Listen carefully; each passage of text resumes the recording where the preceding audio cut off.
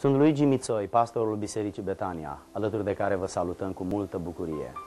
Stimați prieteni și frați creștini, apreciem interesul dumneavoastră pentru înțelegerea Scripturilor și vă încurajăm să credeți promisiunile lui Dumnezeu din Biblie și să-L cunoașteți în mod personal pe Mântuitorul Iisus Hristos. El este Salvatorul și Medicul Suprem. El este soluția lui Dumnezeu la toate problemele dumneavoastră. Vă mulțumim că veți rămâne alături de noi ascultând mesajul care urmează. Vă dorim din toată inima un timp minunat, alături de Cuvântul lui Dumnezeu. Scumpii mei, înainte să ne reocupăm locurile, vă invit să citim din Biblie. Este cartea lui Dumnezeu pentru inima noastră și în seara aceasta o deschidem cu respect și cu dorința să ne vorbească stăpânul. Dumnezeu în mod fizic nu va fi aici, însă este aici spiritual. În prezența Lui spirituală vrea să se atingă de inima noastră, vrea să vorbească sufletului nostru și să ne cheme la sine. Prima carte a Bibliei, dintre cele 66, se numește Genesa, capitolul 22, vorbește despre un eveniment din viața unui mare bărbat rămas în, pe paginile Bibliei și în istoria credincioșilor, numit Avram, patriarhul Avram sau părintele Avram. El a avut un fiu și pasajul acesta din Biblie pe care îl citim vorbește despre ei doi, dar și despre creatorul lor și deopotrivă creatorul nostru. Genesa, capitolul 22. Începem citirea cu versetul 1. După aceste lucruri, Dumnezeu a pus la încercare pe Avram și i-a zis, Avrame, iată-mă, a răspuns el. Dumnezeu i-a zis, ia pe fiul tău, pe singurul tău fiu pe care îl iubești, pe Isaac, du-te în țara Moria și adul ardere de tot acolo, pe un munte pe care ți-l voi spune. Avram s-a sculat dis de dimineață, a pus șaua pe măgar, și a luat cu el două slugi și pe fiul său Isaac. A tăiat lemne pentru arderea de tot și a pornit spre locul pe care îl spusese Dumnezeu. A treia zi, Avram a ridicat ochii și a văzut locul de departe. Și Avram a zis slugilor sale, rămâneți aici cu măgarul.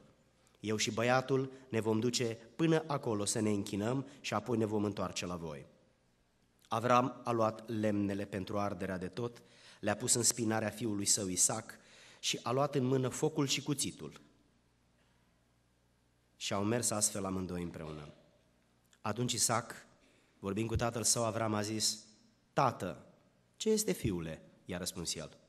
Isaac a zis din nou, Iată focul și lemnele, dar unde este mielul pentru arderea de tot? Fiule, a răspuns Avram, Dumnezeu însuși va purta grijă de mielul pentru arderea de tot. Și au mers amândoi împreună înainte. Când au ajuns la locul pe care îl spusese Dumnezeu, Avram a zidit acolo un altar și a așezat lemnele pe el. A legat pe fiul său Isaac și l-a pus pe altar deasupra lemnelor. Apoi Avram a întins mâna și a luat cuțitul ca să înjunghe pe fiul său.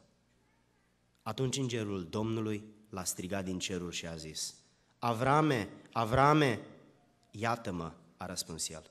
Îngerul a zis, să nu pui mâna pe băiat și să nu-i faci nimic, căci știu acum că te tem de Dumnezeu, întrucât n-ai cruțat pe fiul tău, pe singurul tău fiu, pentru mine.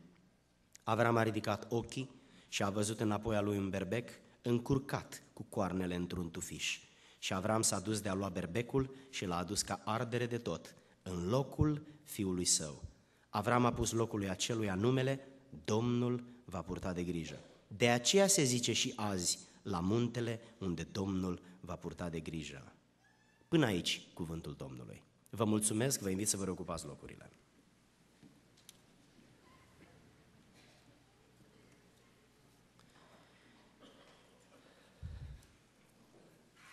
Frați și surori, doamnelor și domnilor,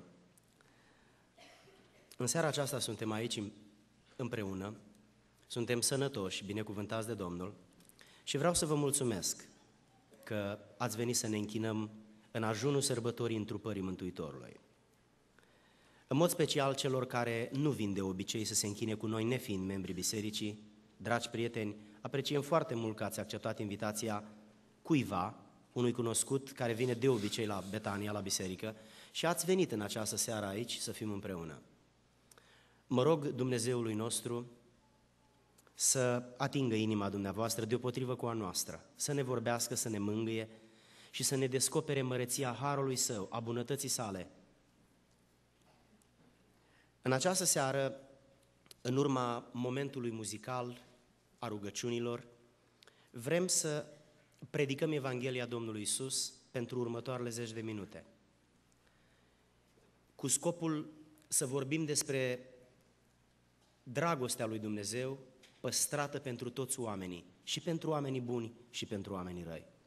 Dragostea lui Dumnezeu este neobișnuită, fiindcă este deopotrivă și pentru oamenii buni și pentru oamenii răi. Timp în care dragostea noastră este pentru familie, după noi înșine, pentru oamenii buni și cam atât.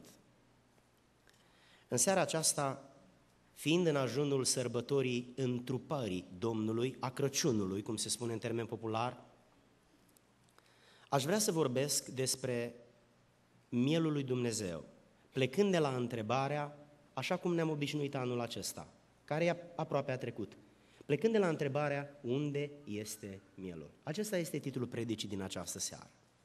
Unde este mielul? Întrebarea aceasta este întrebarea unui tânăr, probabil între 15 și 20 de ani, pusă tatălui său într-un moment de dilemă, de confuzie. Patriarhul Avram primește de la Dumnezeu porunca să-i aducă pe singurul său fiu ca jertfă pe muntele Moria.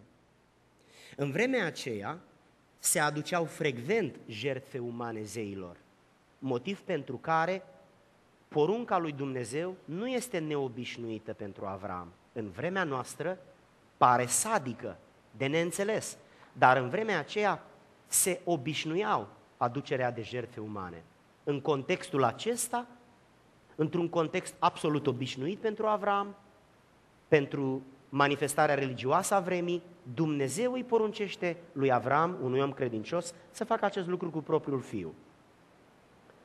Lucrul neobișnuit este faptul că Isaac era singurul fiu al lui Avram, era făcut la bătrânețe și acum era un tânăr, probabil în jur de 20 de ani. La fel de neobișnuit este și faptul că Avram nu pune nicio întrebare, manifestă o ascultare și o credință ieșită din comun, se trezește dis de dimineață de parcă îi plăcea ce urmează să facă, îl ia pe fiul său, ia câteva slugi pentru că era un om foarte bogat și pentru trei zile merg până la muntele indicat de Dumnezeu. Avram îi lasă pe robi la poalele muntelui și îl ia pe fiul său, fiindcă ce urma să facă era doar între el, între fiul său și între Dumnezeu. Isaac, ca unul care participase de foarte multe ori cu tatăl său la aducerea jertfelor, desigur, nu umane, ci animale, sesizează că tatăl său nu are animalul de jertfă, adică mielul.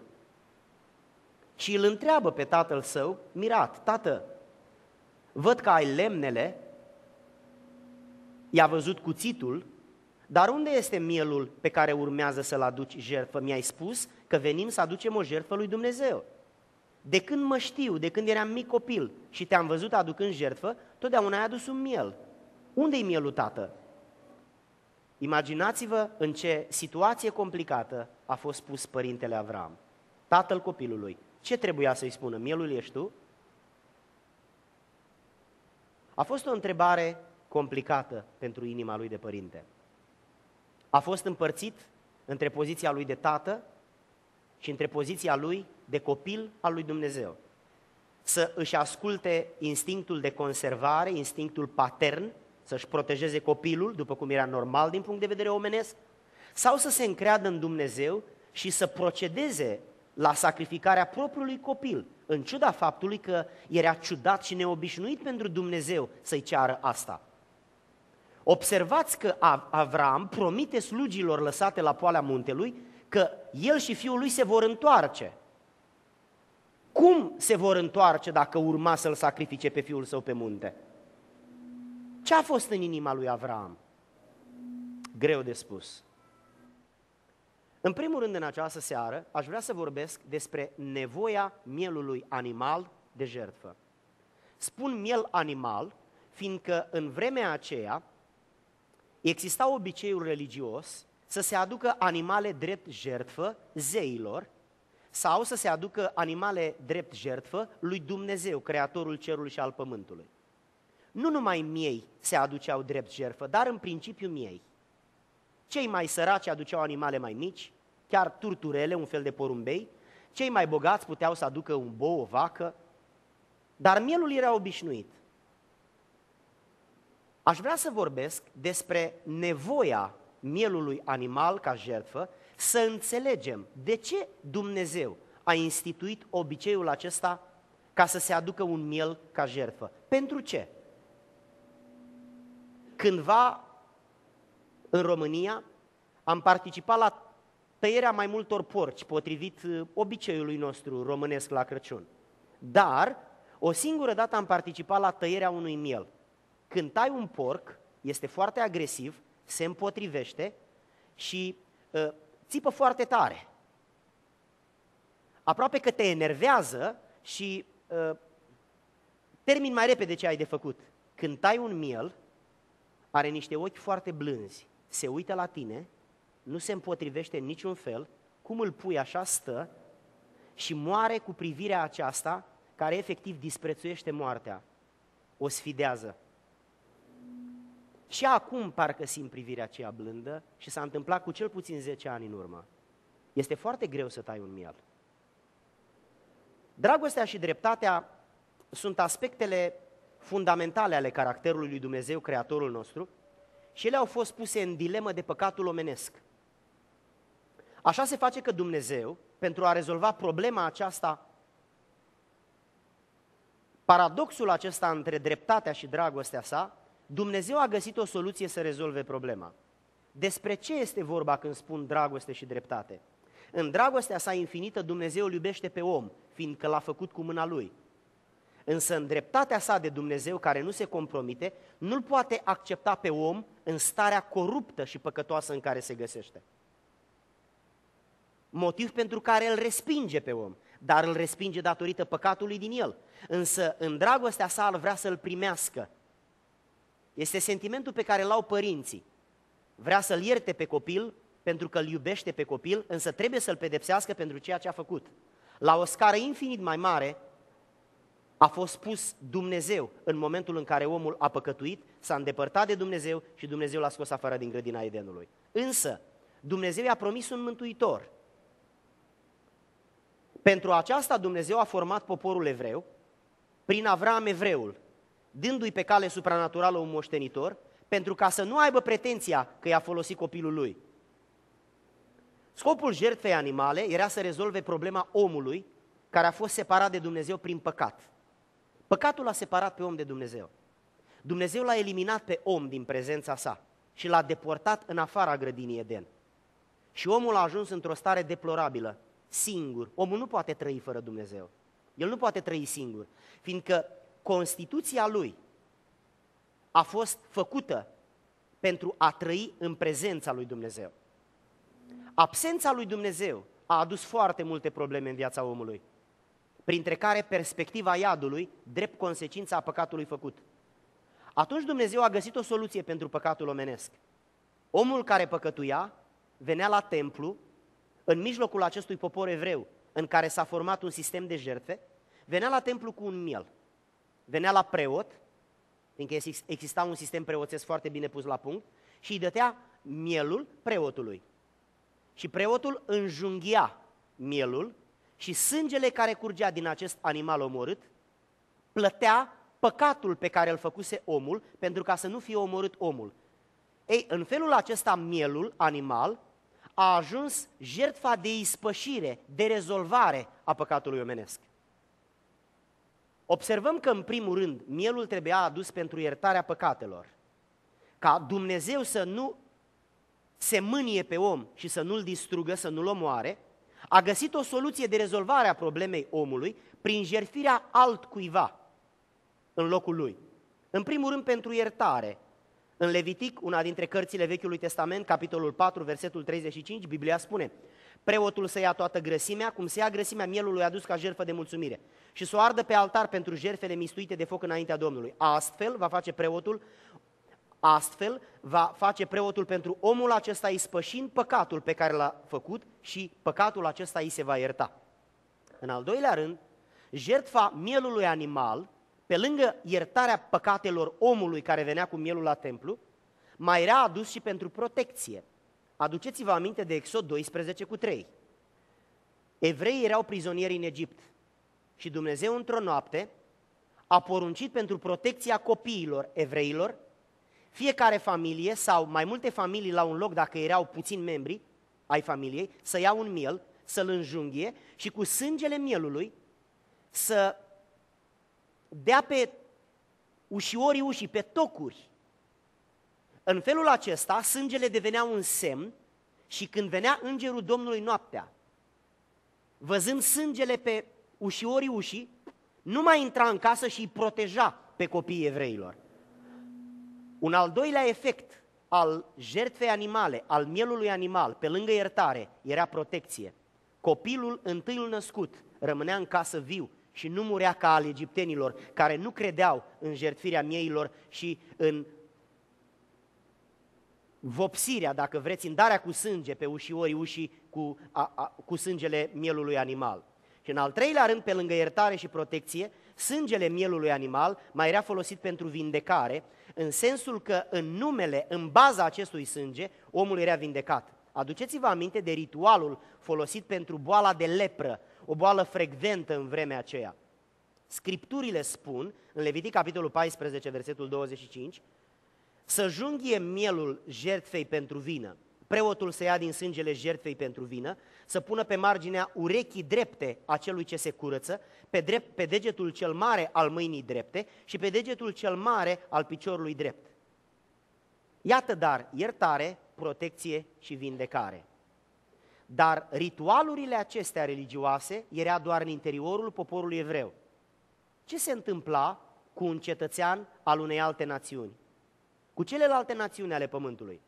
Ce perspectivă avea muritorul care trăia în vremea aceea să-și rezolve problemele iertarea păcatelor, vindecarea bolilor trupești și protecția lui personală și a familiei.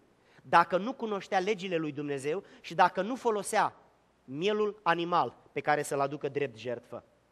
Soluția lui Dumnezeu oferită în Vechiul Testament pentru poporul evreu, popor pe care Dumnezeu l-a educat, în mijlocul căruia a instituit un sistem de jertfe, un sistem preoțesc și o casă închinată Domnului denumită templu, foarte renumită în trecut. Dar pentru că Dumnezeu a parteneriat cu omul și a făcut lucrul acesta în colaborare cu omul, Dumnezeu a fost perfect, dar omul a fost imperfect. Așa se face că soluția lui Dumnezeu n-a funcționat. De ce? Evreii aceștia mergeau la templu și curgeau râuri de sânge de la templu. Sute și mii de animale erau jertfite. Oamenii se întorceau, dar nu se întorceau ca să rămână neprihăniți. Pentru că păcatele fusese iertate, ci se întorceau ca să repete păcatul. Ce mare lucru să mergi din nou la templu cu un alt miel și să ți se ierte păcatele. Oamenii ăștia nu și-au schimbat inima. Cumpărau un miel și își rezolvau problemele. Era ușor să trăiești cum îți place. Ei n-au înțeles că Dumnezeu vrea să-i educe într-un domeniu al sfințeniei, într-un domeniu al moralității, vrea să le educe caracterul, vrea să-i aducă la un mod de viață asemenea lui Dumnezeu. Ei au crezut că pot trăi oricum, rezolvându-și problemele păcatului prin jerfirea mielului animal. Un animal nevinovat asupra căruia se punea vinovăția umană și trebuia să moară pentru vinovăție. Pentru că întotdeauna plata păcatului e moartea. Acum situația omului păcătos este la fel ca și la început, deoarece chiar dacă omul era iertat prin jerfirea mielului animal, el repeta păcatul a doua zi sau poate chiar în ziua aceea și din nou intra în conflict moral cu Dumnezeu, din nou se așeza sub blestem și sub mânia lui Dumnezeu și din nou era la fel ca și înainte. Așa se face că omul este din nou la început și soluția lui Dumnezeu nu funcționează, pentru că omul nu se ține de cuvânt, nu se corectează, îi place păcatul, trăiește în păcat, își cumpără miei câți este nevoie, dar el nu vrea să se sfințească. și nu vrea să devină compatibil cu sfințenia lui Dumnezeu însușindu-și-o prin modul lui de viață. Așa se face că Dumnezeu este pus în situația să găsească o altă soluție. Și în al doilea rând, aș vrea să vorbesc despre nevoia mielului divin de jertfă. Mielul animal de jertfă este mielul, mielul divin de jertfă este Isus, care a venit în calitate de miel al lui Dumnezeu, să fie jertfit și omorât în locul păcatelor oamenilor, să-și asume vinovăția tuturor oamenilor, nu doar a unui singur om. Când un miel era jertfit, era jertfit pentru un singur om, pentru un singur păcat. Mielul lui Dumnezeu, adică Isus Hristos când s-a întrupat, El a venit special cu această misiune, să întrerupă șirul de jertfe a mieilor animal și El să vină ca un miel, dar ca un miel divin, să moară ca și mielul animal, dar pentru toate păcatele și pentru toți oamenii în același timp, pentru toată generația aceea din vremea aceea, dar și pentru toate generațiile care vor urma, adică și pentru generația noastră. Chiar dacă noi nu mai vedem fizica asta, prin credință actualizăm efectul, influența jertfei mielului divin. Cu alte cuvinte, Domnul Isus Hristos a pus capăt șirului de miei sacrificați pentru păcatele oamenilor, el a fost ultimul miel de jertfă. Și el și-a asumat păcatele tuturor oamenilor și în baza morții pe care el a depus-o pe Golgota, pe dealul Golgota, în baza morții lui, toți oamenii sunt iertați de păcatele lor, dacă dezvoltă, inițiază și dezvoltă o relație cu Domnul Isus Hristos, mielul de jertfă. Relația aceasta este prin credință, în urma pocăinței. De ce e nevoie de credință și de ce de pocăință? Ce este credința și ce este pocăința? Credința este una dintre capacitățile pe care le are omul să accepte lucruri pe care nu le poate proba. Spre exemplu, în lumea noastră sunt o grămadă de lucruri pe care nu le-am văzut. De pildă, noi credem că a existat Mihai, Mihai Viteazu, Ștefan cel Mare, Nicolae Iorga și alți oameni care au trăit în generațiile trecute. Noi nu i-am văzut. O carte spune despre ei, după cum o altă carte spune despre Isus. De ce să credem că a existat Ștefan cel Mare? De ce să avem atâta încredere în istorie și să nu avem încredere în Biblie? Este istoria care se schimbă de la un regim politic la altul. Mai demnă de încredere decât Biblia care de câteva mii de ani rămâne aceeași și sfidează toate imperiile și sistemele politice murdare care încearcă să o distrugă și să o schimbe, mai multă încredere a oamenii în mersul trenurilor decât în Biblie. Dacă mersul trenurilor spune că trenul mâine dimineață pleacă la 6 sau un avion pleacă la ora 6, noi la 4 suntem la aeroport. Avem încredere în tichetul care ni s-a oferit prin internet. Și Biblia, în care toți oamenii cred, uneori punem semne de întrebare în dreptul ei. Este nevoie de credință, fiindcă jertfa lui Isus, mielul divin, este cu 2000 de ani în urmă. Noi nu o putem vedea. Noi prin credință putem să ne o însușim sau putem să o respingem spunând eu nu cred dacă nu văd. Câți dintre noi a văzut curentul electric și nu putem trăi fără el? Câți dintre noi vedem gândurile celui cu care vorbim și totuși acceptăm că are gânduri? De ce e nevoie de credință? Pentru ca să credem ce spune Biblia și să credem ce spune Dumnezeu. Prin credință, în interiorul minții noastre se întâmplă totul. Nu în afara noastră. În afara noastră s-a întâmplat cu 2000 de ani în urmă. De ce e nevoie de pocăință? Dacă credința ne pune în relație cu Dumnezeu, însușindu-ne tot ce spune El că există, chiar dacă nu putem verifica, pocăința este atitudinea omului de regret față de păcatele cu care l-a sfidat pe Dumnezeu. Dacă omul nu se căiește de păcatele care le-a făcut, Dumnezeu nu-l poate accepta. Pentru că tocmai păcatul îl separă pe om de Dumnezeu. De aceea Dumnezeu vrea să distrugă păcatul, dar nu-l poate distruge decât dacă omul îl expune. Și cum îl expune? Prin regret. Păcatul pe care omul nu-l regretă, îl ascunde în inimă. Păcatul pe care îl regretă, îl pune în fața lui Dumnezeu și Dumnezeu, prin sângele lui Isus, mielul divin, îl distruge, îl aruncă în marea uitării. Fac o pauză în prezentarea biblică și mă îndrept înspre dumneata, care ești un om ca mine, un muritor. Ai, te-ai născut ieri și mâine vei muri. Și vreau să te întreb, dincolo de profesia pe care ți-ai ales-o, dincolo de starea materială pe care ai reușit să o realizezi sau starea familială, dincolo de falimentul în care te găsești astăzi sau de succesul de care te bucuri astăzi, dincolo de aceste lucruri normale, pământești, vreau să te întreb ceva. Dacă mor la noapte, unde mergi? În iad sau în rai? Necredința noastră în iad și rai nu le desfințează. Raiul și iadul sunt două locuri spirituale în care vor merge oamenii în funcție de relația sau de absența relației lor cu Dumnezeu în viața de pe pământ. Preotul, după ce murim noi, nu mai poate să facă nimic, pentru că el nu are nicio competență. Competența lui este să ne învețe cât, cât suntem în viață, dar dacă am murit, competența lui se încheie. Vreau să te întreb în această seară foarte direct, nu cu intenția să stric sărbătorile, dar ești un om ca mine. Când aveam 21 de ani am fost prima oară confruntat cu această întrebare. Și mi-am dat seama, eram căsăt, proaspăt căsătorit, făceam sport de performanță, aveam și eu o meserie ca toți oamenii, ă, aveam un apartament închiriat, era pe cale să primim un copil, primul nostru copil, dar întrebarea care mi-a fost pusă, am realizat că nu face parte din sfera mea de interes. Și mi-am dat seama că sunt absolut pe din afară la acest capitol. Aveam și o religia mea.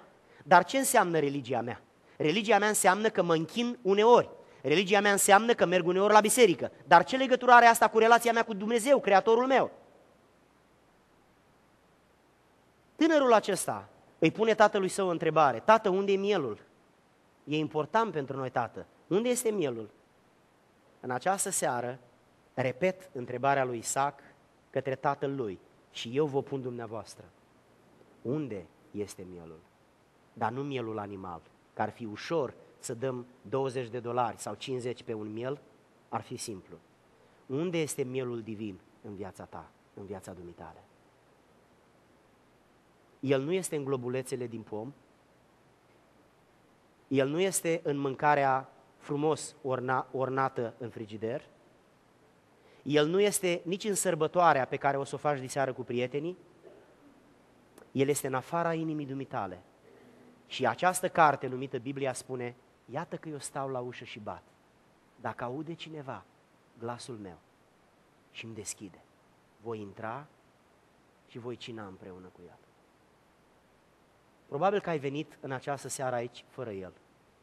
Ai venit cu planurile, cu idealurile, cu realizările dumitale, dar aici te confrunți cu o problemă care vine dintr-un domeniu care nu te preocupa prea mult. Unde este mielul? Trebuie să accepti că atunci când îți vine rândul să te duci în veșnicie, ca toți muritorii la vremea lui, mașina nu ei, serviciul nu-l iei, contul din bancă în plus sau în minus, nu-l iei, nu iei nimic, o pereche de haine care putrezesc. Însă sufletul care ți din trup, cu o zi, două, trei înainte să fie înhumat, adică mormântat trupul, neînsuflețit. Sufletul acesta se duce la Dumnezeu. Iadul și raiul, sau raiul, sunt cele două perspective. Vreau să te întreb limpede, unde te duci când vei ajunge acolo?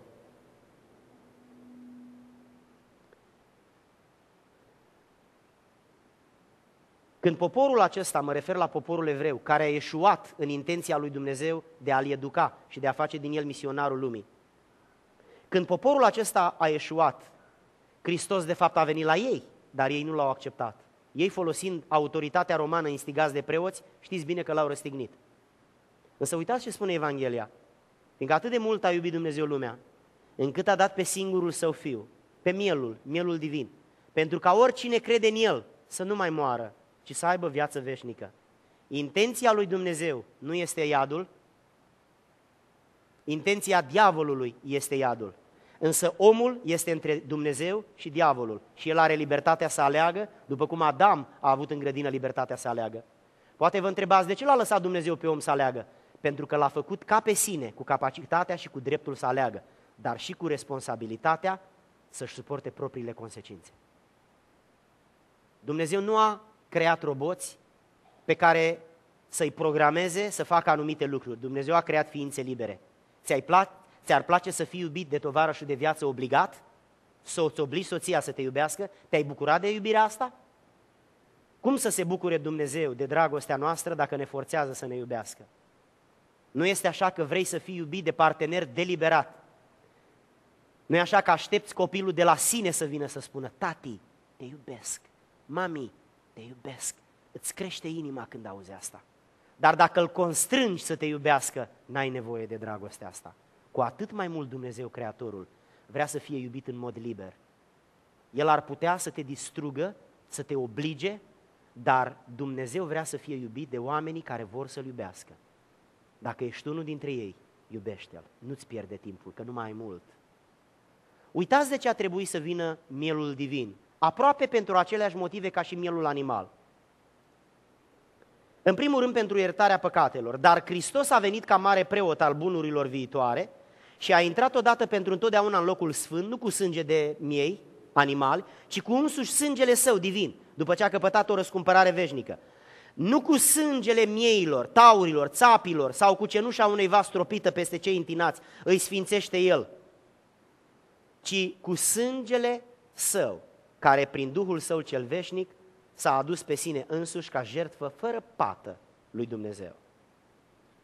Dacă cea mai mare nevoie a oamenilor ar fi fost educația, Dumnezeu ne-ar fi trimis un profesor. Dacă cea mai mare nevoie a oamenilor ar fi fost tehnologia, Dumnezeu ne-ar fi trimis un savant.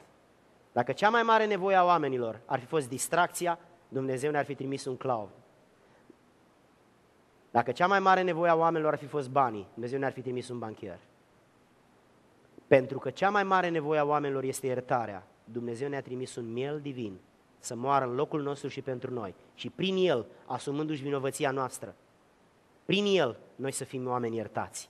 Aceasta înseamnă întruparea Domnului sau Crăciun, dacă vreți. Dar aceasta nu are legătură doar cu Dumnezeu. Nu El trebuie să creadă, noi trebuie să credem. În ce? În ce a făcut El. Nu, nu, nu El trebuie să se pocăiască, noi trebuie să ne pocăim. De ce? De păcatele trecutului. Din primă, de la primul păcat, făcut la 7, 8, 10, 12, 15 ani, până la cel făcut înainte să intrăm în sanctuar. Dacă nu credem și dacă nu ne pocăim, cu tot sacrificiul depus de Isus Hristos în calitate de miel divin pe Golgota, toți oamenii de pe Terra merg în iad. Dumnezeu nu-i nemilos pentru că le-a oferit soluția. Nemiloși sunt ei pentru că n-au grijă de ei. Ce ar putea să facă Dumnezeu mai mult? A făcut totul. Oamenii trebuie să creadă, să se pocăiască și să-L primească în inima lor pe mielul divin. Dar nu numai pentru iertare, ci și pentru victorie. Ei l-au biruit pe cine? Pe diavolul, prin sângele mielului și prin cuvântul mărturisirilor. Poate îmi vei spune în această seară, frate Luigi, eu fumez sau consum alcool, sau joc jocuri de noroc și toți banii mi duc acolo și nu mă pot opri. Am încercat de multe ori. Foarte des m-am certat cu soția pentru asta, dar nu mă pot opri. Uitați ce spune Scriptura. Ei au biruit obsesia, de fapt, pe diavolul care stă în spatele ei, prin sângele mielului. Persoana care nu și însușește sângele mielului prin credință și pocăință, nu are nicio autoritate asupra viciilor vieții. Din potrivă, e controlat de viciile vieții, e dominat de viciile vieții. Toată viața vrea să se lase de țigări și moare fumând. Toată viața vrea să se lase de alcool și de alte păcate și moare făcându-le. Pentru că deși are, voinț, are dorința, nu are voința, nu are capacitatea, păcatul e mai puternic decât omul. Ce soluție ai să te lași de păcatele în care trăiești? De 20 de ani spui că te lași. Mielul divin îți stă la dispoziție. Nu mielul animal, asta a fost cu mult timp în urmă. Mielul divin, prin credință și cu pocăință, îți stă la îndemână. Dacă vrei să-L primești în inimă, totul se întâmplă în minte. Doamne, cred în Tine și în planul Tău de salvare și îl primești. Sau, Doamne, nu cred și n-ai nevoie de El. Doamne, îmi pare rău de păcatele făcute până astăzi. Sau, Doamne, eu sunt un om absolut moral, n-am niciun păcat. Ce, care ți este atitudinea inimii? Eu nu știu. Poate nici nu trebuie. Dar este o problemă între dumneata și Dumnezeu. Nu doar pentru iertare și victorie, ci și pentru veșnicie. În veșnicie trebuie neapărat să mergi în rai, nu în iad. Este oportunitatea noastră prin Hristos. Și apoi pentru mântuire. Locul din Scriptură pe care îl citea era acesta. El a fost dus ca o oaie la tăiere, ca un miel fără glas înaintea celui cel tund.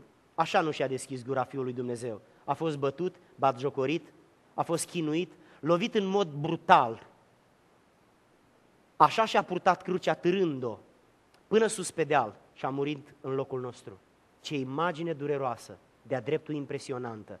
Toate acestea pentru ca să-și asume vinovăția noastră și noi să rămânem fără vină în fața lui Dumnezeu cel drept și să nu ne trimită în iad. Acesta este mesajul întrupării, al Crăciunului, dacă vreți.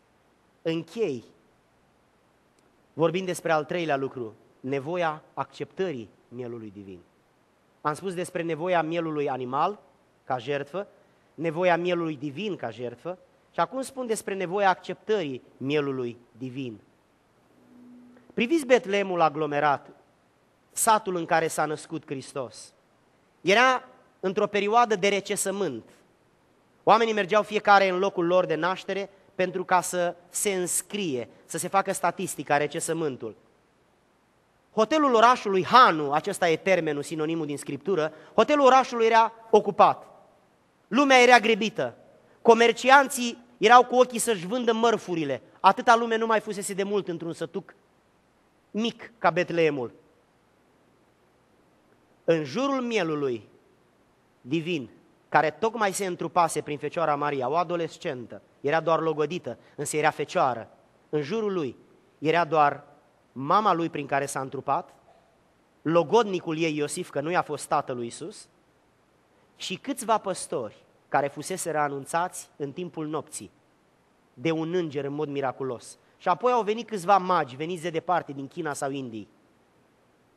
Toată lumea era ocupată și grăbită. Fiecare alerga să se înscrie, să bea, să mănânce, să se bucure. Și undeva în grajd, în locul acela unde mirosea urât, unde erau pânze de păianjen, probabil șoarici, să mănânce resturile de boabe ce scăpau de la animale, de la hrana animalelor. În locul acela, mielul divin a venit în lumea noastră în cea mai umilă condiție. Pentru că a vrut neapărat să vină pe pământ, indiferent de riscurile pe care și le asumă, indiferent de condițiile modeste pe care și le asumă. A vrut neapărat să ajungă la inima dumitale și să-ți ofere perspectiva salvării. Dacă vrei să ți-o însușești, o poți face. Dacă vrei să o respingi, o poți face. Dar ține minte, ce faci are consecințe. Priviți grădina Ghețimani, el se roagă cu lacrimi ca de sânge. Dar cine are timp de el? Priviți locul public de judecată. Cine să-i sară în ajutor era, de, era nevinovat. Priviți dealul Golgota, unde este crucificat după obiceiul vremii, condamnat la moarte. Cine sare în ajutorul lui? Cine ia apărarea? Unde este mielul? Mielul este între noi, dar noi suntem grăbiți, noi suntem ocupați, noi avem treabă. În jurul lui sunt puțini oameni, ca și acum 2000 de ani. Am găsit niște versuri, mi-au plăcut foarte mult, îngăduiți-mi să vi le spun. Și nu veni să-i, Doamne, să te plimbi pe acest pământ cu drumuri interzise, pe acest pământ cu demoni și cu ghimpi, cu multe boli curente sau prezise. Nu, nu venisei doar ca să te plimbi, să calci aici pe zâmbete ucise. Și avea planeta porțile închise cu gânduri ferecate strâmb. Aici gândirea mea e răsturnată, că ai venit la poarta lui blocată și ai bătut și ai așteptat ades, iubirea nu forțează în univers, cum ea nu poate fi nici capturată. Hangiule, chiar n-ai știut nimic? Nu ți-a căzut de pe cuvinte fracul? În, aștept, în așternutul tău nu te-a durut? Ți-a mai bătut vreodată în poartă veacul? Chiar pe el un loc? Chiar pentru el? N-ai mai avut? Pământul îmi răspunde, da, se poate. Căci pentru cer adesea s-a știut, cu toate locurile ocupate. Își descărcase cerul o mărire, iubirea ne-a umplut cât n-am știut. Căci izgonit păcatul peste fire, cu țipă dinspre rama ne-a durut. Chiar încărcat venind cu viața toată, și pentru tine crudul rod? Cum a putut gândirea ta să poată? Mă întreb din nou și iarăși mă socot că l-ai primit ca marele deces. Porunca aveai, aveai o datorie, nu te-a chemat gândirea la proces? Răspunde acum, răspundeți astăzi ție. Tu, Nicodim, l-ai vrut și nu l-ai vrut. Îți trebuia așa cum nu se poate. El nu s-a rușinat de tine sus, tu l-ai primit cu gânduri rușinate. Nevoie n-am nici eu de complicații, nici și eu îl chem adesea nascuns. Și îl refuz la mese de ocazii, nu vreau să fiu zvârlit printre umili, cu zâmbetul acela de disgrații, eu mai primesc confort printre mulțimi, în mintea mea primesc considerații. Mă simt chiar bine în sufletul călduț, însă un gând acum mă înfioară. Prin treburile mele sunt pierdut toți pașii tăi din zori și până în seară. Și dacă secolul cu ochii mulți te izgonește astăzi de la sine, mai trist e că, venind să ne ajuți, n-ai loc de noi aici, în ceas, la tine. Și astăzi tot străin printre ai tăi, și astăzi străin, și astăzi tot pe afară, aruncă, Doamne, o rază de lumini și raza cu iubire să ne doară. Dragi prieteni, există o zi a chemării pentru fiecare om. A fost o zi pentru mine, este o zi pentru dumneata. Ai venit aici invitat de cineva. Biserica aceasta s-a rugat pentru această seară, pentru ca Dumnezeu să-ți vorbească mai mult decât îți poate vorbi pastorul. Și să-ți câștige inima înțelegând că nu trebuie să-ți schimbi religia, nu ăsta e scopul lui Dumnezeu, ci să-ți schimbi inima. O tânără, urmând să nască, a mers undeva spre o mănăstire unde era un loc potrivit pentru ea. Însă pe drum au apucat-o durerile nașterii, era iarna și un fric teribil. N-a avut de ales, s-a așezat sub un pod și acolo a născut un băiețel. L-a acoperit cu hainele de care ea s-a dezbrăcat și peste câteva ore, când cineva a trecut peste pod și a auzit plânsul copilului, pe ea a găsit o moartă, l-a luat pe copilaș, l-a crescut și când copilașul a ajuns la vârsta de 12 ani, a întrebat-o pe femeia care l-a crescut, spune care este trecutul meu, istoria mea? Și ea a ezitat să-i spună. A spus să nu îi frâng inima copilului. Dar copilul a insistat. Și atunci ea a spus. Și a rugat-o să-l ducă la mormântul mamei. Femeia l-a pus în mașină. Era un băiețel de 12 ani și l-a dus la mormântul mamei. Copilul avea ceva flori cu el și a rugat-o pe această femeie, te rog, lasă-mă puțin singur pentru că vreau să mă rog. Femeia s-a dus câțiva pași mai încolo și l-a privit pe copil. Copilul s-a așezat în genunchi, a pus florile pe mormânt și a început să se roage. Peste câteva clipe s-a oprit și a început să se dezbrace. Femeia s-a speriat, era neobișnuit. Copilul și-a dat haină după haină jos până când a rămas fără nicio haină pe el. Femeia s-a speriat și s-a dus la el să-l îmbrace, crezând că din cauza emoției nu mai știe ce, nu mai, nu mai are control asupra lui. Însă când a ajuns lângă el, copilul plângea foarte tare și l-a auzit spunând următoarele cuvinte. Mamă, am vrut să simt ceea ce ai simțit tu când ai murit. De aceea mi-am scos toate hainele pe frigul ăsta, însă sunt sigur că tu când ai murit, ți-a fost mai frig decât îmi este mie acum. Dragii mei, Hristos a dezbrăcat de dumnezeire. El era Dumnezeu în cer, stătea în sala tronului și a coborât într-un graj între animale. Îi cântau îngerii, însă a venit pe pământ ca să moară pentru oameni. Când aveam 21 de ani, am auzit mesajul acesta și inima mea s-a deschis pentru Isus. Dacă ești în această seară aici, în ajunul Crăciunului, în ajunul sărbătorii întrupării Domnului, vreau să spun următoarele cuvinte. În seara aceasta trebuie să te pocăiești. Adică să spui, Doamne, iartă-mă pentru păcatele mele. Mă căiesc de ce am făcut. Și trebuie să crezi în Evanghelie. Pentru că această carte este vrednică să fie acceptată și crezută ca fiind adevărată. Eu nu știu cine ești, care ți este problema, câte păcate ai făcut până în această seară, dar știu sigur că ești un om ca toți oamenii care ai păcătuit suficient ca să mergi în ea dacă nu te pocăiești. Vreau să te invit în această seară să-ți deschizi inima și să te pocăiești. Vreau să te invit în această seară să-ți deschizi inima și să te pocăiești. Să spui în inima ta, Doamne Dumnezeule, eu sunt un om. Doamne, eu sunt un om pe care Tu l-ai creat mai ocrotit de-a lungul anilor și am multe experiențe în mintea mea care mi-au confirmat că m-ai iubit și te-ai gândit la mine.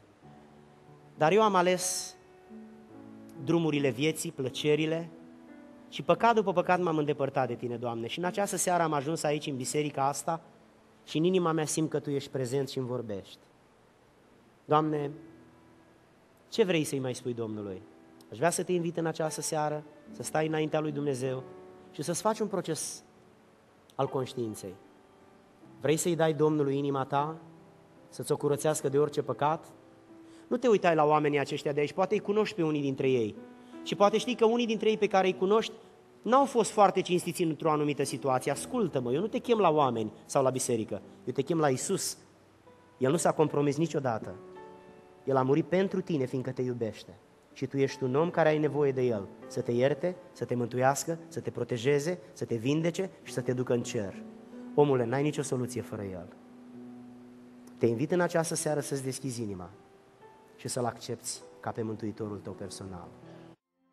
Sperăm din inimă că prin mesajul biblic pe care tocmai l-ați ascultat, Dumnezeu a atins sufletul dumneavoastră. Vă încurajăm să reveniți alături de noi pe www.betani.cc sau pe www.bisericabetania.com pentru următorul mesaj. De asemenea, vă invităm să vizitați și să folosiți în funcție de nevoile dumneavoastră resursele site-ului Bisericii Betania. Dacă aveți nevoie de rugăciune sau de ajutor în înțelegerea scripturilor, vă invităm să ne scrieți la adresa de e-mail luigi.betani.cc Până data viitoare când ne vom închina și vom studia Biblia împreună, ne rugăm lui Dumnezeu să vă binecuvinteze viața, familia și viitorul.